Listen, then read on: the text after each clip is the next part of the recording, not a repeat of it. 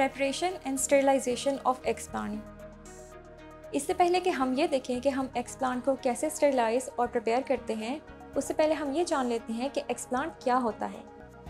Explant plant का कोई भी वो पार्ट होता है, जिसे हम प्लांट टिश्यू कल्चर में होल प्लांट को जनरेट करने के लिए यूज़ करते हैं। इनिशियली हम एक्सप्लांट को प्लांट बॉडी से एक्सरसाइज करते हैं, उसको लेबॉरेटरी की स्टेरलाइज कंडीशन में न्यूट्रन कल्चर मीडियम के ऊपर ग्रो करवाते हैं। उस न्यूट्रन कल्चर मीडियम के अंदर वो तमाम न्यूट्रिएंट्स और एसेंशियल हार्मोन्स प्रेजेंट होते हैं जो प्लांट की ग्रोथ के लिए रिक्वायर्ड हैं। जैसे कि हमने पहले कहा कि एक्सप्लांट प्लांट का कोई भी पार्ट हो सकता है, उसकी एग्जाम्पल्स हैं root fragments shoot fragments leaf sections nodal sections seeds anthers pollens ovaries etcetera explant को हम यूज़ कहाँ पे करते हैं? एक्सप्लांट को प्लांट टिश्यू कल्चर में यूज़ किया जाता है। प्लांट टिश्यू कल्चर जैसे कि हम पहले एक्सपेरिमेंट्स में डिस्कस कर चुके हैं, एक सेट ऑफ़ टेक्निक्स हैं, जिसके अंदर हम किसी भी प्लांट सेल टिश्यू या ऑर्गन से होल प्लांट को रीजनरेट करवाते हैं। प्लांट टिश्यू कल्चर का कॉन्सेप्ट उस वक्त अराइज हुआ जबकि एक जर्मन बॉटनिस्ट ने प्लांट टोटीपोटेंसी का कॉन्सेप्ट दिया।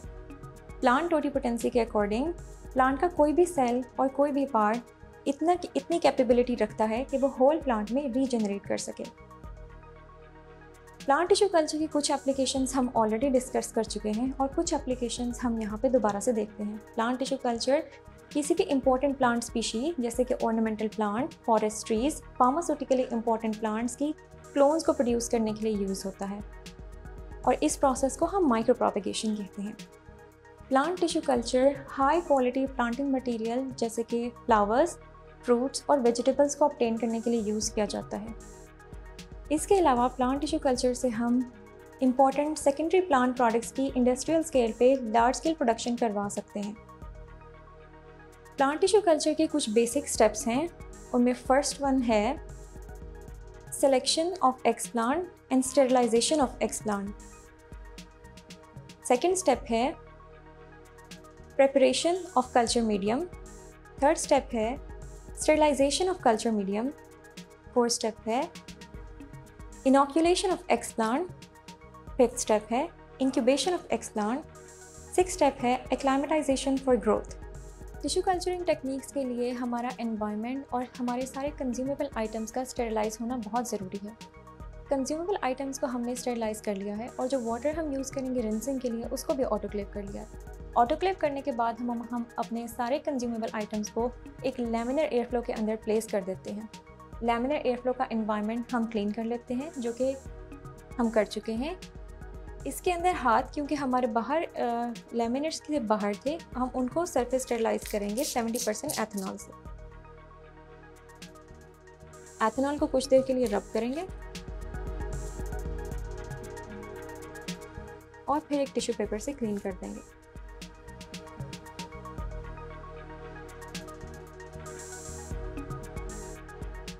अपनी वर्क बेंच को भी हम क्लियर करेंगे।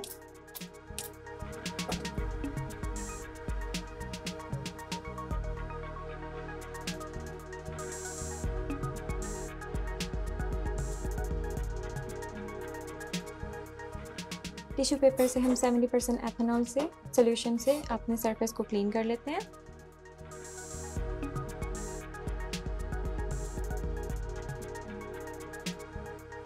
लीव जो कि हमने अपने प्लांट से एक्सरसाइज किए हैं, उनको हम एक बार ऑटोक्लेव वाटर से वॉशिंग दे चुके हैं। अब इनकी सरफेस स्टेरिलाइजेशन को स्टार्ट करते हैं। उसके लिए हम 15% परसेंट लीथ सोल्यूशन पेट्री डिश में पोर करेंगे।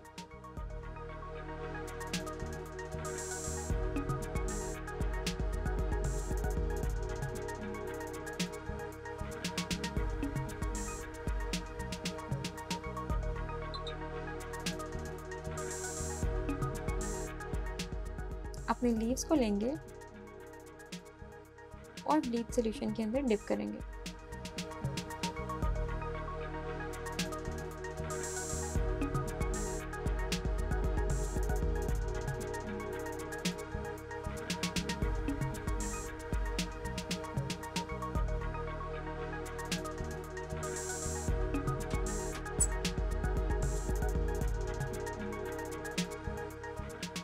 कवर करने के बाद स्लाइटली शेक करेंगे, ताकि ब्लीच सोल्यूशन लीव्स की अपर सरफेस पे आ जाए। इसके बाद हम अपने लीव्स को अपसाइड डाउन करेंगे।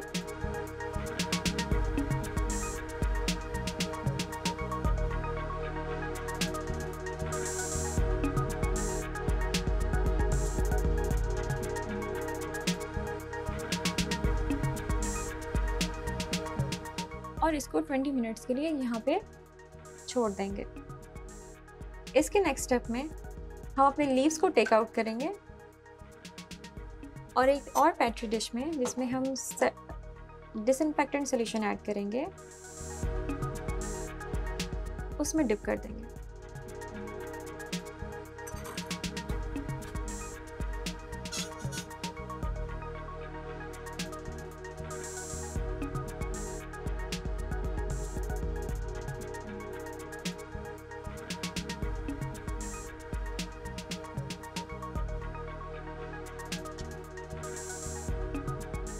इसको माइल्ड शेकिंग देंगे ताकि दोनों सर्फेसेस कवर हो जाएँ डिसइनफेक्टेंट सोल्यूशन से।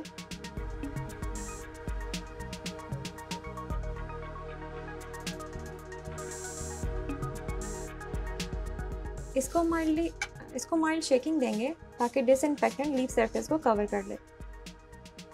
और फाइव मिनट्स के लिए छोड़ देंगे।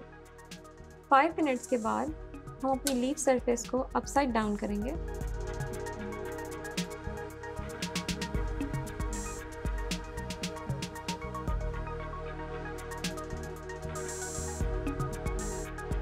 Followed by mild shaking.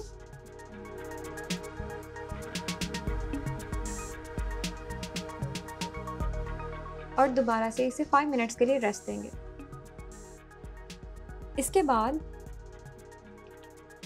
हम एक पेट्रोल डिश में ऑटोक्लेव डीआयोनाइज वाटर ऐड करेंगे।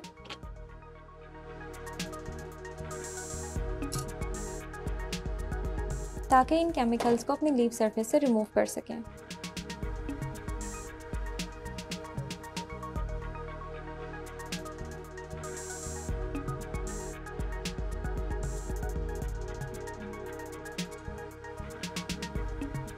हम अपने लीव्स को क्लोरॉक्स सोल्यूशन से निकालेंगे।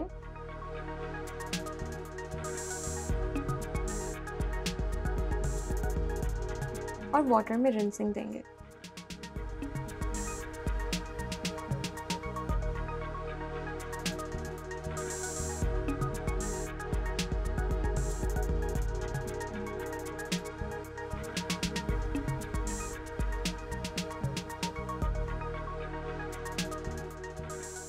उसके बाद एक फ्रेश वाटर में अपने लीफ को शिफ्ट कर देंगे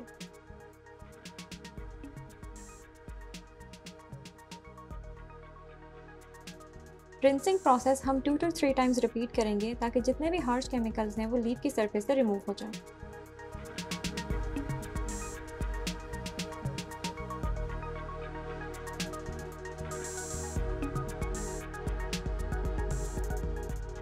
अपने लीव्स को स्टेरलाइज फ़िल्टर पेपर के ऊपर प्लेस करेंगे।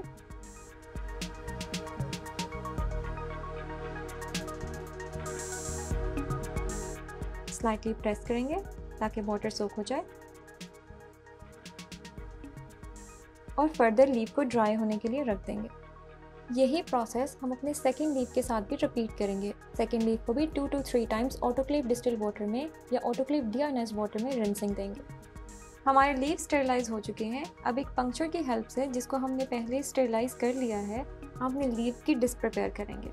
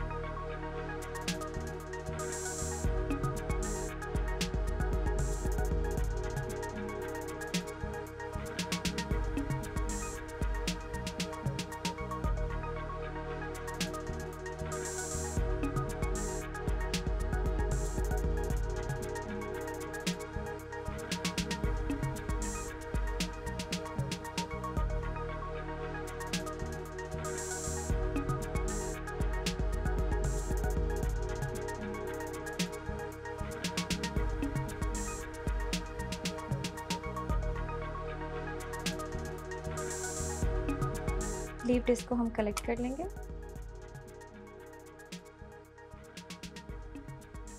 पेपर पे प्लेस करेंगे। अपनी ऑलरेडी प्रिपेयर्ड मीडिया प्लेट के ऊपर हम लीव डिस्क को रख देंगे। मीडिया हम एम एस मीडिया यूज़ कर रहे हैं, जो कि हमने प्रैक्टिकल नंबर वन और टू में प्रिपेयर किया।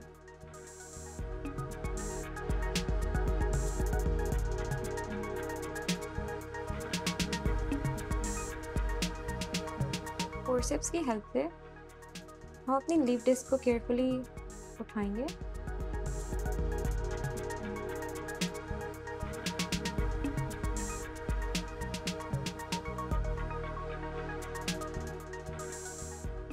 हम अपनी पेटर डिश को क्लोज करेंगे।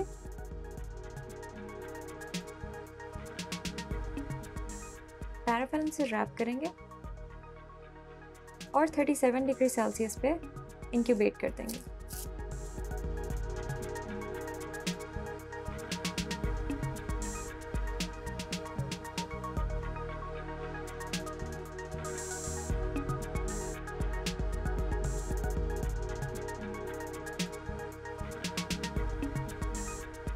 सेवन डिग्री सेल्सियस पर पैट्री डिशेस को इंक्यूबेट करने के बाद हम अपने टेम्परेचर और लाइट इंटेंसिटीज़ को सेट कर देंगे according to our experimental requirements उसके बाद टू टू थ्री डेज़ के बाद हम इनकी ग्रोथ को ऑब्ज़र्व करेंगे और फिर सब कल्चरिंग से फर्दर प्रोपेगेट करते जाएँगे।